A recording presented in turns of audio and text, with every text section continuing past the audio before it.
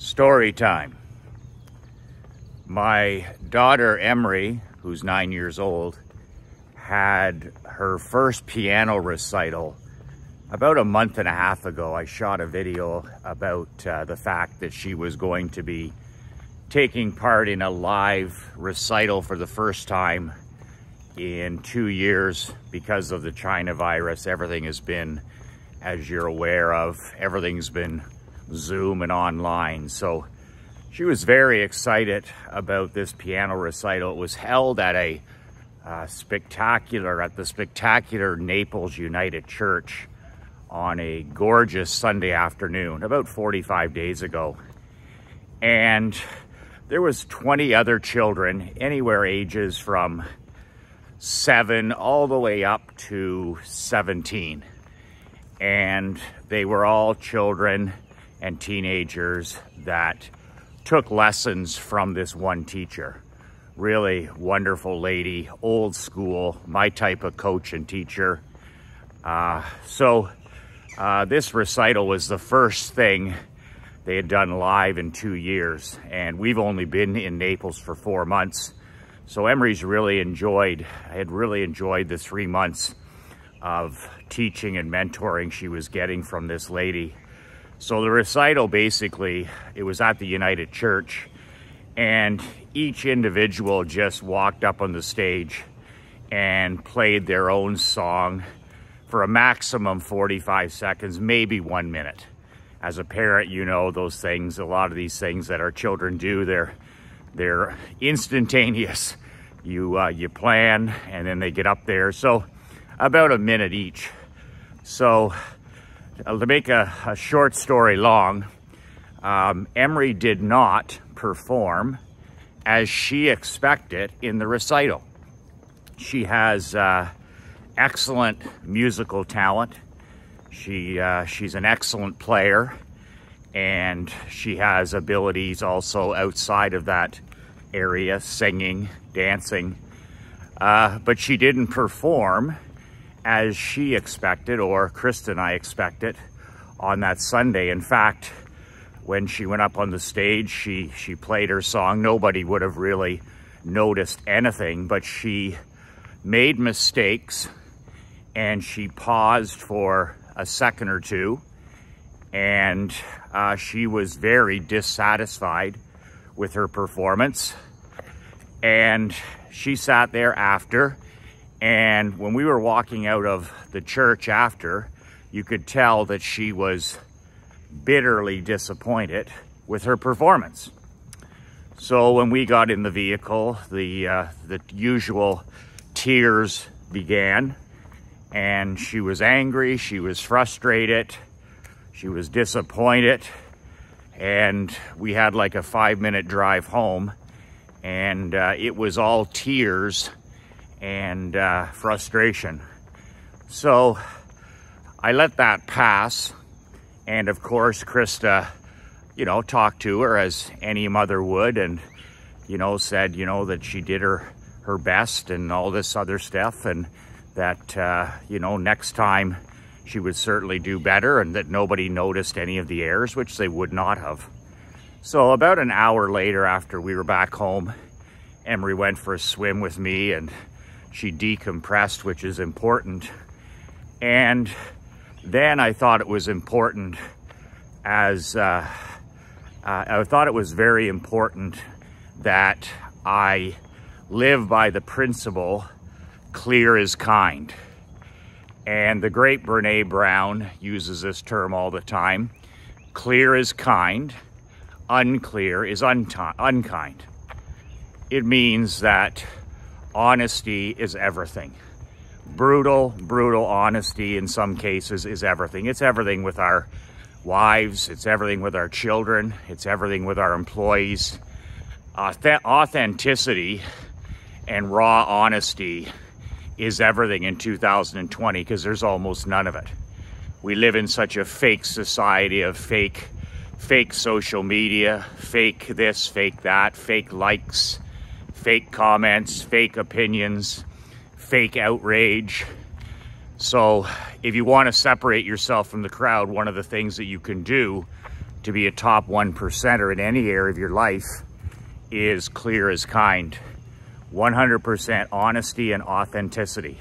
Something I teach to my five-star world builders. You need to be 100% honest and you need to be 100% authentic and you will stand out from the crowd like no other man. So using my value or my principle of clear as kind, I had a very candid discussion with Emery about how and why this disappointment happened at this piano recital. She was focusing on her feelings. She was focusing on the disappointment. She was angry, but she wasn't learning anything from the experience. One of the lines you hear a lot on, on uh, from the gurus and the pretend experts, especially on social media, the new feel-good saying is, uh, there's losing and there's learning. and as a pro, pro hockey coach for 22 years, amateur hockey coach, and 31 years as an entrepreneur with 31 years of bloody-nosed experience, what a load of bullshit that is. That there is losing and there is learning. Yes, losing does smarten us up. As my father, the great Frank McLean says, losing teaches us to smarten the fuck up and get better. That's what losing does. We do learn more from losing than we do from winning. In fact, nothing loses like winning. But losing teaches us to smarten up and become better. But only the top 1%, okay, learn from losing. The rest blame, the rest are victim, victimized. Uh, they, they, everything but learn, learning. So although that's a convenient little saying online, especially, that there's losing and learning, the fact remains that most businessmen, most husbands, most fathers don't learn don't learn anything from losing. In fact, they repeat the same behaviors day after day, week after week, month after month, year after year, decade after decade, and expecting a different result. And then they're frustrated and disappointed and angry when they don't get a dis when they don't get a different result. So that, my friend, is the definition of insanity.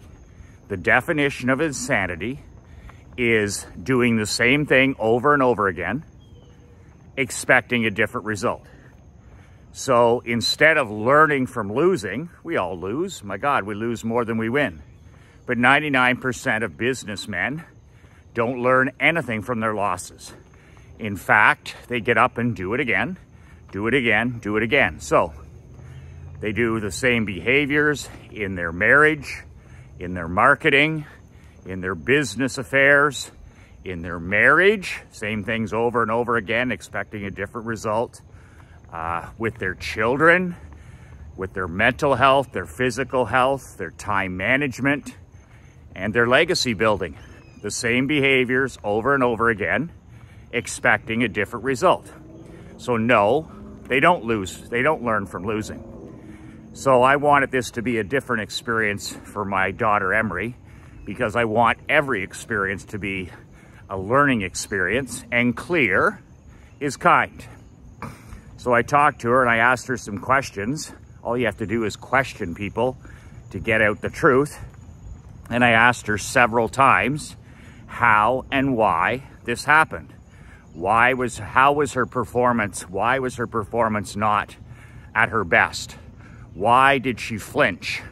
Why was she nervous before instead of excited?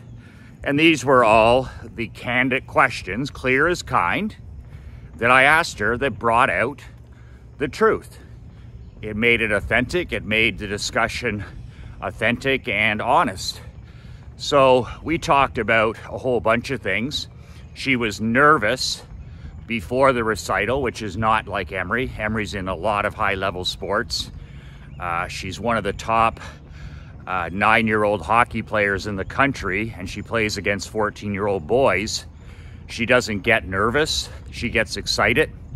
If she's playing tennis, she gets excited. If she's playing uh, chess, she gets excited. If she's At the equestrian competition, she gets excited. Uh, and she gets the butterflies, which I always tell her, that's great. It shows you care. I get, I, I speak in front of a thousand people, 2,000 people, webinar trainings, whatever it is. I get butterflies, which means I care. I don't get nervous because I'm prepared, but I certainly do get excited and I get those butterflies that I get when I'm coaching hockey uh, in any of those situations, which means it means you're ready. It means you're you care. It means you're prepared, and it means you're excited. You're not uh, you're not afraid. You're not scared. You're not anxious. Any of those weak weak emotions. So that's pretty important. Good morning. So um, she was nervous before the recital, which is not her, and I know that because I drove her there. So I asked her why she was nervous, and we talked a little bit. Were you nervous because you didn't feel that you were properly prepared? Yes, clear as kind. Then we talked about, you know, going up on the stage and, and having to look at the book in uh, the book and having to, you know, turn the page during the song. And I asked her, you know, why did you have to turn the page during the song? Why did you even have to look at the book when normally, normally, she knows her material so well backwards, sideways, upside down that she doesn't even have to look at her music sheets. She does not have to look at them. This time she did. Once again, not prepared. Haven't done the work. Not prepared like normal. She was like a salesperson who didn't know their phone scripts. They had to read them. Not ready. Not prepared. Haven't done the work. So we went through all the details and we had a very positive talk, but a very candid talk. And it all got down to one bottom line. She hadn't done the work. I teach my hockey players, and I have for years at pro and amateur, like the great Stephen Covey said, private victories precede public victories. Think about that. Private victories precede public victories. That means that we do our work in the dark in practice when nobody's looking so that we can win championships in the spotlight if we choose. Private victories precede public victories. I used to bring my hockey team to center ice on practice nights. It's, it's cold. They've been working like animals for two hours. Uh, it's late. They're tired. They're fatigued. There's not a single person sitting in the stadium. It's in black darkness except on the ice. And I would always call them together when we did our stretching at the end and tell them, look around, who's here? There's no mums, there's no dads, there's no aunts, there's no uncles, there's no season ticket holders, there's no raving fans, there's no music, there's no mascots. This is where you'll win or lose a championship. You don't win or lose in games. You don't win or lose in games at all. You win or you lose games in practice or lack of practice. And perfect practice makes permanent. There's no such thing as practice makes per perfect practice makes permanent. Perfect practice makes permanent. So not only the time you practice, but how you practice. So Emery didn't have perfect practice the week before, and it didn't make permanent because she had to use her music sheets she didn't have her normal confidence. She didn't have her normal certainty. So she, bottom line, again, did not put in the work. She worked hard, but she didn't, she didn't put in championship effort. She didn't put in championship work ethic. And then she didn't, wasn't able to execute like a champion. And we talk more about this, how, you know, uh, championship effort, hard, hard practice. Hard, hard practice equals fun games. I've taught that for so many years. You can't have fun at a particular sport. You can't have fun doing anything if you're not good at it. And I know there's people that are, you know, they're terrible at golf and somehow they like it, but that's not me. I need to practice, I need to work at something I need to be good at something to enjoy it. I don't enjoy struggling for years at something I just, I'm more of, I'm a practice, perfect practice makes permanent kind of person. So our children can't enjoy things. They'll want to stop doing things. Will parents now allow them to quit things that they're not good at, that they don't enjoy, but they don't enjoy them because they're no good at them. Because parents, as parents, we haven't made them practice. Practice is huge. I don't care if it's piano, I don't care if it's chess, I don't care uh, if it's karate, martial arts, skating, swimming, uh, math club, I don't care what it is. We as parents, as leaders, need to insist that our children practice every day, every single day. There's no days off. Just like as a badass millionaire, there's no days off. I'm out here walking seven days a week. That way I don't have to do it three hours. And when you miss practice, the thing that I always think about is if you miss your half an hour of practice, then the next day you got to do a full hour. Or if I miss my one hour of writing time, my marketing time that I have every day, if I ever miss, which I don't, then the next day I have to do two hours. And to me, that's like, I don't want to do that. So I write for an hour every day. I walk for an hour every day and I read for an hour every day, minimum. Every single day, is the secret. Perfect practice makes permanent. So there were some tears when I challenged Emery and I said, you know, you didn't do the work. You didn't do the perfect practice. You didn't uh, earn it in, in private first, you know, practicing at home. So then in public, it wasn't fun. And that's something that I've preached to her for as many years as she's been competing in anything is hard practice equals fun games. Hard practice equals fun games. A recital, I said, was that fun? And she's like, no, it was horrible. Well, it was horrible because you didn't have hard practice. You didn't put in the hours. So in this situation, losing, she is learning from losing. If I don't have this discussion with her, if I don't have this conversation with her, then losing, she doesn't learn anything. It's just frustration and it's anxiety. And the number one thing that I fucking well hate is all of a sudden it's somebody else's fault. Well, you know, uh, uh, you know, I was distracted or I wasn't feeling good. Bullshit excuses. When we don't learn, we make excuses when I believe that as parents and leaders and employ, employers of people, we need to live by a principle of clear as kind.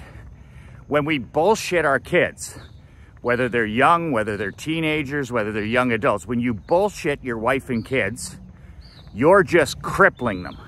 You're just crippling them and disrespecting them, especially our children when we're not clear and we're not kind. Oh, attaboy, good job. You did your best. Winning doesn't matter.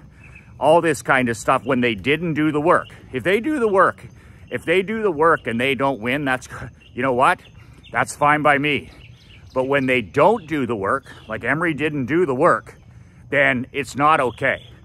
Then I don't give a fuck about the tissue box. I'm to call them as I see them. And she's going to understand that, you know what, I'm paying for these lessons. Krista and I gave our, you know, we invested our whole Sunday going over there. Everybody dressed, dressed up at the church, the whole thing. Do the work. Do the work. Do the work so that it's fun. Do the work so there's no tears. Do the work so uh, everything that you're doing is fun. It's, e it's not easy, but it's fun. Hard practice equals fun games. And that's a huge lesson. And I wanted to make sure that my daughter learned that lesson, which she did, uh, out of this piano recital. Because, uh, you know what? 99% of businessmen and our children and everybody else in our world, they don't learn from losing. They don't learn from losing. And it's my job as a leader, as a father for certain, that clear is kind. You know, why did this happen? How did this happen? How can we make sure that this never happens again? You didn't do the work. Clear as kind. You didn't do the work. As an old mentor of mine said in pro sport, you didn't earn or deserve victory. You did not earn or deserve victory. If we can get that message into our children's heads, what kind of an advantage are they going to have in this entitlement world that we live in now? Our kids will be unstoppable. If they have a mindset of 100% accountability for every result in their life, if they accept responsibility for every win and loss in their life, our children will rule this world because they're going to encounter nothing but the exact opposite. Victimhood, entitlement, not my fault, excuses, excuses, excuses. If we can get our children in to accept 100% accountability, to embrace self-reliance, if it's going to be, it's up to me, doing the work, earning and deserving victory, there's something they're never going to hear in a school. There's something they're never going to hear on a t-ball uh, on a t-ball field anymore. There's something they're not going to hear anywhere else. So you need to be the messenger. Earn and deserve victory. Do the work. And hard practice equals fun games. If you're going to do something, put in the hours every day so that it's fun and it's enjoyable. And if you're not going to put in the hours, then stop doing it. It's an insult to the skill or the sport or whatever it is, the craft. If you're not going to try to master the craft to your ability, run your own race. If you're not going to try and master a craft, then don't take it. You know, you don't have to be the next Tiger Woods. You don't have to be, you know, the, the next whatever. You need to be you to the best ability, and we have to teach that to our children. They need to become the best version of themselves. Every day they need to run their race, not somebody else's race, not your race. Emery has to run her race. And her job is to become the best version of herself. So I wanted to share that story tomorrow. I'm going to share part two of that story with you, which proves my point.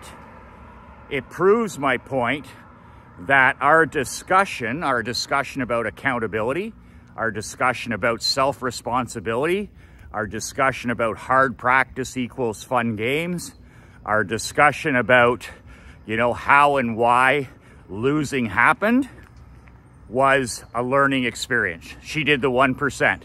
She lost, and because of our discussion, she smartened up and became better the next time and I'm going to share that story tomorrow. Tomorrow, it's uh, her experience a couple weekends ago at this high level equestrian competition, her first in Florida. I call it horsing, horsing, riding horses, not my thing. Uh, but uh, how her mindset completely shifted and how now she does look at losing. If she loses, at least she's done the work. And yes, there is learning if you're clear and kind. There's no learning if we bullshit our kids, if you coddle your kids, if you coddle your employees, even if you coddle your best friend. There's no progress without the truth. There's no progress in business. There's no progress in your personal life. You'll never progress as a man if you don't tell yourself the truth. Clear and kind starts with you. It starts with me. Every morning I splash water on my face, clear as kind. On the mirror my goals, my values, my mission, but I need to be clear with myself first. And unclear is unkind. So it all starts and ends with the man in the mirror, and then you go from there. But clear is kind, and hard practice makes fun games. And we need to be constantly honest, and authentic with the people that matter most in our life. Honest and authentic with our wives, with our children, with our grandchildren, with our employees. They want to know the truth. They want to be, they want to be, they want to, they don't want surprises. They want to know the truth. People can do hard things. Your wife can do hard things. Your children can do hard things your employees, the good ones, can do hard things. But it all starts with clear is kind and unclear is unkind. You patronize your wife, you patronize your children, you patronize your employees, and you will cripple them. And they will not, you will not have the relationship, you will not have the freedom, you will not have the personal sovereignty, and you'll keep doing this over and over again, and you'll wonder why you have the same shit results. Well, that is, my friend, the definition of insanity. So let's do something different. Let's embrace the principle of clear is kind and hard practice equals fun activities. And at the end of the day, do the damn work. You as a father, as a husband, you set the tone. There's nothing more contagious than a positive example. So you be that positive example. Forget the speeches and be a leader by example. You know, every area of your life can be a contagious example for your wife, your children, people in your community. Your marriage, your marketing, your business, your physical health, your mental health, every one of those areas of your life, you can improve with clear is kind by doing the work. Every area of your life that you're struggling in, start doing the work. Every single day, do the work.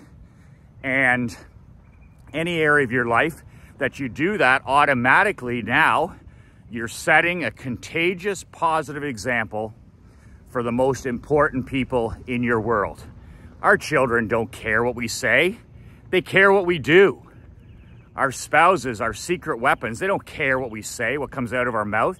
They care what we do. People are watching constantly, and when you think they're not, they are. Our children are watching, our teenagers are watching, our young adults are watching. You know, ever people are just constantly. So is your life a warning or an example? Are you doing the work or are you cutting corners?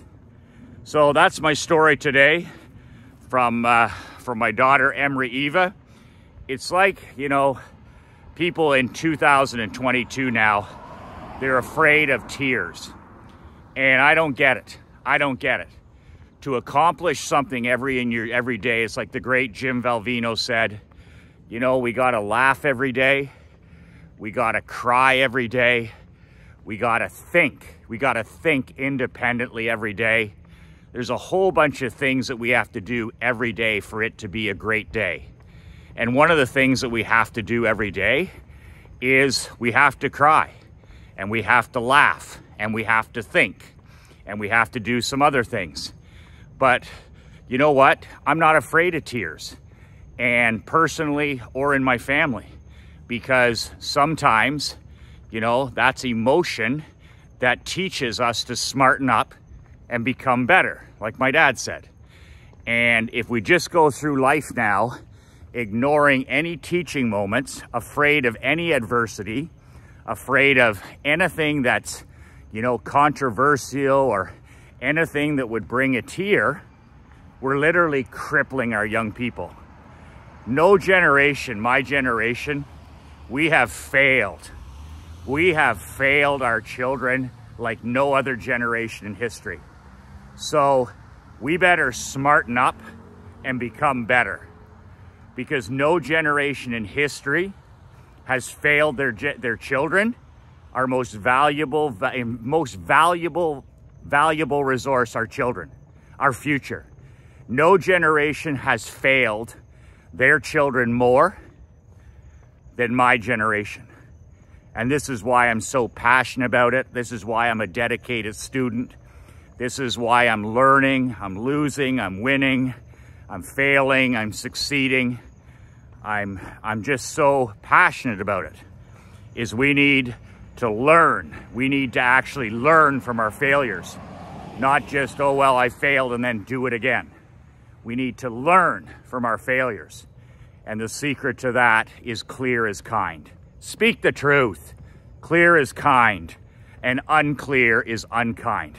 We have way, way, way too much unclear in our world. Do the opposite. Be a top one percenter. Be the person that's honest, authentic, consistent, and zero needy. Okay? Our children need the truth. They don't need our bullshit and our political correctness. Our spouses, they deserve the respect of candid, candor. They deserve harsh honesty, whatever it takes. But they don't deserve the disrespect of framing and political correctness and, you know, this, this half-truth and this half-truth. Just tell the truth and build a relationship. That's, that's how you show respect for your wife, by telling the damn truth. Same thing with our employees. All the great leaders were ca are candid, are, are straight from the hip, calm as they see them, men and women. They all are. They're all known, they're all notorious and infamous and famous for their brute honesty. Any football coach, any baseball leader, any military leader, any business leader, any church leader, you name it, you name it. What are they famous for? Clear is kind. That's it for today. I'll continue with part two of the story tomorrow. You can get a copy of my brand new book at nobullbook.com. That is a clear is kind book. It is not everybody's cup of whiskey. How to not get your ass kicked in business and in life. It's my 25 rules for you living life and doing business on your own terms. So it is a book for cleaners. It's a book for closers. It's a book for contenders, not pretenders. It's not for do-nothings and, you know, excuse makers. It's for champions, not chumps. You can get a copy at the link below and it's $20. It's a hard copy book. I don't do any of this ebook nonsense. I don't do any of this go fetch PDF. I wrote and I print a real book and I'll FedEx that to you on my dime. Uh, so it's $20 for the book. I'll pay for the shipping and for the delivery. Good morning. Sam Walton rule, eh? Anybody within five to 10 feet, smile hello. Sam Walton, badass Walmart founder, drove a used half-ton truck. Sam Walton with his dogs in the truck, badass. Middle America badass. And driving his used half-ton truck with his big dogs in it. And they asked him one time, they said, Sam, why don't you have a Rolls Royce? One of the richest men in America. He says, can't put dogs in a Rolls Royce. Can't put dogs in a Rolls Royce. Fucking badass. Fucking badass. So, also there's a free web training below, worldbuildingwebinar.com. Nothing to buy. It's a 90, it's a 70 to 80 to 90 minute training, I forget. And it'll teach you the top 10 secrets to building your own world. Your rules, your freedom, uh, that kind of stuff. And uh, if you'd like to be put on a waiting list and apply for my next world building coaching program, it's an eight week sprint. Uh, you can do that below badassmillionaire.com slash apply. And I'll be opening up that in probably another month or two. If you want to be placed on a waiting list and apply, uh, you can do that below. That's it that's it for today. Uh, two day, it's, uh, we're getting near the end of school here. Emery's in her last week of school. And then uh, we're gonna be heading back to Canada, to our lake house for the summer. So we're excited about that. And, uh, but still lots of work to do here. So until, until uh, tomorrow, two words that change my life, two words that change, that'll change yours. Be relentless.